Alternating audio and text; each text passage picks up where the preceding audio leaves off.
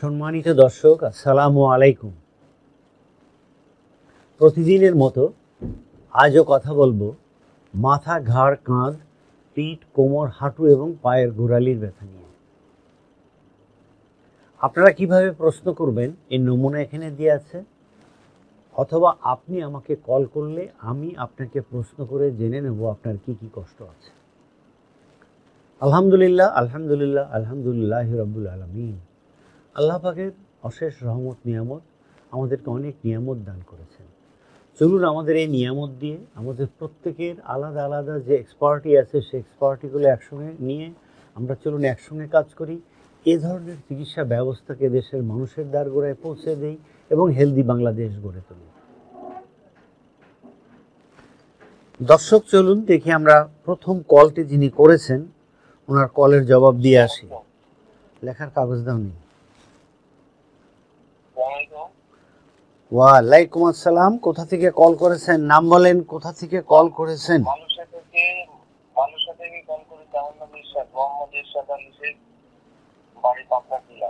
পাবনার কোথায়? সুজনগর থানার সাগরকান্দি ইউনিয়নে?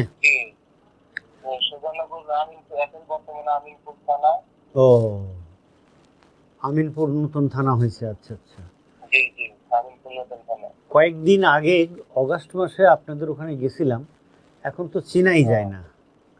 কাশীনাথপুর থেকে যে রাস্তা হয়েছে ঢালারচরের নদী পর্যন্ত নিয়ে গেছে রাস্তাকে আপনাদের ওই এলাকা এখন আর চেনাই যায় না। আমিনপুর কলেজ বিরাট কলেজ করেছে। এই নিয়ে বলেন আপনি মালয়েশিয়ায় থাকেন কি কষ্ট আপনার? আমার কষ্ট হচ্ছে কি দুটা সমস্যা বুঝছেন? একটা হচ্ছে পায়ের টানা মনে করেন চব্বিশ ঘন্টায় করে জানাশোনা থাকে জি। আর একটা হচ্ছে কোমরের সমস্যা। আমার কোমরে মনে করেন যে ব্যথা অনেক ব্যথা মনে করেন যে কাজ আমি আমি আমি আমি আপনাকে আমি আপনাকে প্রশ্ন করি আপনি আমার প্রশ্নের উত্তর দেন। আপনার আপনি কল করেছেন মালয়েশিয়া থেকে। আপনার নাম? আমার নাম ইরশাদ মোহাম্মদ ইরশাদ আলী এরশাদ এরশাদ মালয়েশিয়া বয়স কত? বয়স ছাব্বিশ বছর। ছাব্বিশ বছরের এরশাদ মালয়েশিয়া থেকে। আমরা ব্যাক পেইনের কথা বলি। আপনার ব্যাক পেইন এই ব্যাক পেইন কত দিনের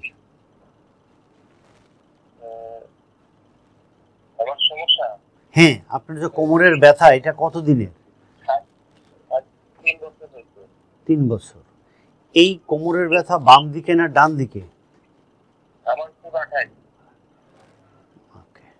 এই তিন বছর আগে ব্যথা হলো কোনো কারণ মনে পড়ে? কেন হলো ব্যথা? ওই বিশ কেজির একটা বস্তা উঠাইতে গিয়ে হুট করে হঠাৎ করে দিয়ে উঠল ওইখান থেকে এক সাইডে তখন ওই বিশ কেজির একটা বস্তা উঠাইতে আপনার এই ব্যথা আপনার যে এখন ব্যথা। আপনার এরশাদ আমার কথার উত্তর দেন। আপনার ব্যথা এটা কোমরেই থাকে না কোমর থেকে পায়ের নিচে হাঁটুর নিচে যায়? না না না খালি কোমরেই শুধু থাকে। এই ব্যথা বেড়ে যায় বসে থাকলে না হাঁটলে? আপনার হামও দিলে বেড়ে যায়। হাঁটলে সমস্যা হয় না কিন্তু হামও দিতে পারি না।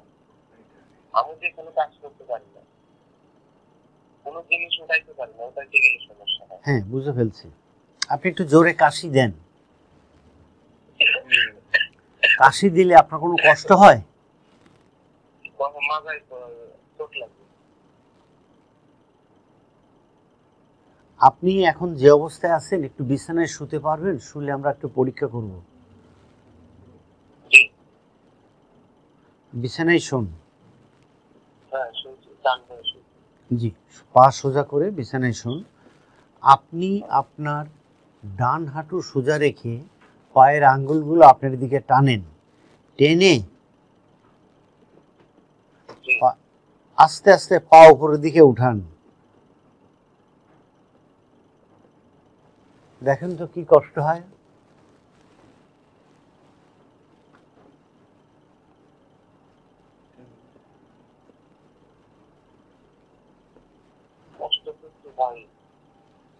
আপনার পায়ে মাজার দিকে এরকম টান লাগে উঠালে হ্যাঁ আচ্ছা।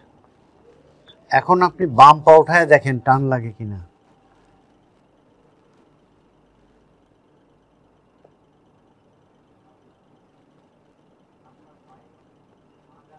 পায়ে টান লাগে মাথায় টান লাগে না আচ্ছা।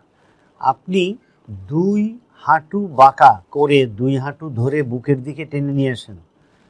দুই হাঁটু ধরে বুকের দিকে আপনি কি আমাকে দেখতে পাচ্ছেন? সুজানগরের এরশাদ আচ্ছা। সম্মানিত দর্শক যারাই আমাকে আপনারা আমাকে কল করেন তাদেরকে অনুরোধ করব আপনারা এমনভাবে কল করবেন যেন আমাদেরকে দেখতে পান। আমাদেরকে যদি দেখতে না পান তাহলে আমাদের অনেক অসুবিধা হয় এবং এই প্রোগ্রামে আপনারা অনেকটাই লাভবান হন হবেন না। তো সুতরাং এমনভাবে কল দেন যাতে আপনারা আমাকে দেখতে পান।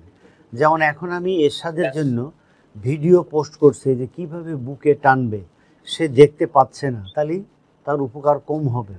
আপনি দুই হাঁটু ধরে বুকের দিকে টেনে হোল্ড করে রাখেন। জাস্ট ধরে হোল্ড করে রাখেন। বুকের দিকে টেনে জাস্ট ধরে হোল্ড করে রাখেন।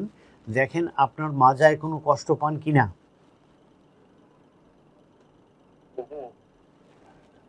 এই এক্সারসাইজটি বারবার করবেন, সকালে এবং বিকালে।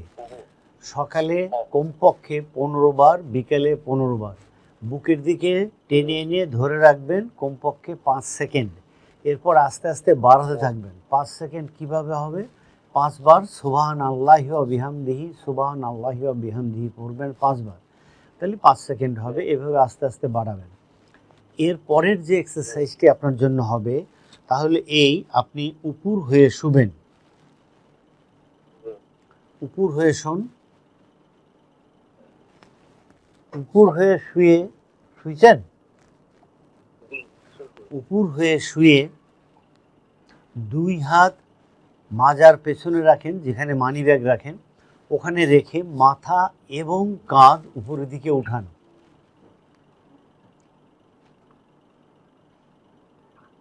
হ্যাঁ। এটাও আপনি দশ থেকে পনেরো বার করবেন সকাল বিকাল এরপরে দুই হাত এরকম দুই হাত এনে শোল্ডারের নিচে রাখবেন রেখে হাতে চাপ দিয়ে মাথা এবং কাঁধ উপরে উঠাবেন। পেট পেটের যেখানে নাভি আছে ওই নাভি লেগে থাকবে বিছানার সাথে। এটা হ্যাঁ, পনেরো start. করবেন। এই করার আগে আপনি আরও দুটো নাভি লেগে থাকবে। এক হাজার এক এক হাজার দুই এক হাজার তিন এক হাজার চার এক হাজার পাঁচ. নেমে যাও। আপনার জন্যে যে সঠিক। মেডিসিন তা হলো এক্সারসাইজ হ্যাঁ স্টার্ট বাট এক্সারসাইজটি আস্তে আস্তে নাও ডাউন ডাউন সঠিকভাবে করতে ডাউন মাথা পিছনের দিকে নাভি লেগে থাকবে। দিয়ে দিছি এখানে আপনি এক হাজার আমাদের এক এই এক হাজার দুই এক হাজার তিন। আমাদের এই ফেসবুক অনুষ্ঠানটিকে পেজটাকে শেয়ার করবেন যে কোনোভাবে একটু পরে। তাহলে এখানে আপনার জন্য যে সমস্ত ভিডিও দিছি যে এক্সারসাইজগুলো করতে হবে আমি এখানে দেখায় দিছি। আপনি দেখে দেখে দেখে এগুলো করবেন। এই এক্সারসাইজের নাম হলো এক্সারসাইজ ইজ ইওর মেডিসিন আমি মেডিসিন না বলে বলেছি এক্সারসাইজ বাট মনে রাখবেন exercise your is your medicine এই এক্সারসাইজ শুরু করার আগে আপনাকে দুইটা মোডালিটিসে যেতে হবে। একটি হলো প্রথম হলো নারকেলের তেল এবং রসুন। এক পোয়া নারকেলের তেলের মধ্যে বিশ কোয়া রসুন ছেঁচে দিয়ে এটাকে গরম করবেন। গরম করলে এটা লাল লাল হবে ওইটা একটা কাপে ঢেলে রাখবেন। এরকম একটা কাপে ঢেলে রাখবেন এই যে কাপ দেখাচ্ছি। এই কাপ থেকে তেলটা নিয়ে হাতের আঙ্গুলে নিয়ে সকালে এবং বিকেলে ওই মাজার ওখানে ডলবেন কমপক্ষে পনেরো মিনিট। এরপরে ওখানে গরম সেক দেবেন। কীভাবে গরম সেক দেবেন?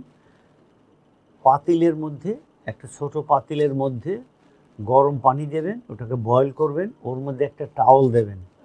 সেই টাওয়ালটিকে ওখান থেকে বের করে হালকা চিপে ওই ভাপটা, ভ্যাপারটা যেন আপনার কোমরে লাগে। ভাপটা ওই নারকেল তেল দিয়ে যে ডলছেন, ওর উপরেই লাগাবেন, তেলটা মুছবেন না। তারপর একটা ড্রাই টাওয়াল দিয়ে ঢেকে উপর হয়ে শুয়ে থাকেন কমপক্ষে পনেরো মিনিট। এই শুয়ে থাকাকালীন সময়ে মনে মনে বলবেন, হে আল্লাহ পাক, আমাকে যে কোনো ওসিলায় অথবা এই চিকিৎসার ওসিলায় আমাকে ভালো করে দিন। এটা আল্লাহ পাকে বারবার বলবেন। আর সাথে কোরআনিক দোয়া পড়বেন। কোরআনিক দোয়া হলো, একটি হলো সুরা ফাতেহা। সুরাতুল শেফা বলা হয়। সুরা ফাতেহা পড়ার আগে এবং পরে তিনবার করে দৌরুদ করে নেবেন। দর্শক, আপনারা যে যে ধর্মের অবলম্বী, আপনাদের ধর্মীয় রীতিনীতি অনুযায়ী আপনি আপনার দোয়া পাঠ করবেন। এরপরে প্রথম কথাটি মনে রাখবেন, যদি আপনি ধূমপায়ী হন, তাহলে এখন থেকে আর ধূমপান করবেন না। ধূমপান ব্যথা বাড়ায়। আপনি কোনো প্রকার মিষ্টি জাতীয় খাবার খাবেন না। মিষ্টি ব্যথা বাড়ায়। ওকে? আপনি প্রচুর পানি খাবেন। যদি শরীরের ক্ষতি না হয়, একটু ওয়ার্ম পানি খেতে পারলে ভালো। আপনি প্রতিদিন একটু বেগুন, দুই টুকরা গাজর সরি দুই টুকরা ঢেঁড়স এবং তিন টুকরা ফুলকপি খাবেন। বেগুন, ঢেঁড়স এবং ফুলকপি আপনার এই অসুখে অনেক উপকার দেবে। প্রতিদিন সকালে অথবা বিকালে, সকালে একটি, বিকালে একটি ডিম খাবেন। এই ডিমকে বারো মিনিট সিদ্ধ করে খাবেন।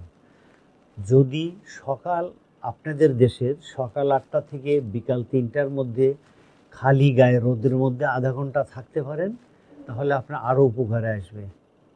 প্রচুর শাকসবজি খাবেন, প্রচুর শাকসবজি খাবেন ওকে আপনি অবশ্যই আমাকে দুই সপ্তাহ পরে এই নাম্বারে আমি অনুষ্ঠানটি করি।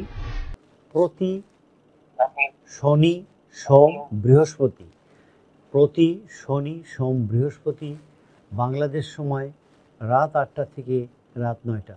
দর্শক আপনাকে অসংখ্য ধন্যবাদ। আমাদের সবার জন্য দোয়া করবেন। সালামু আলাইকুম।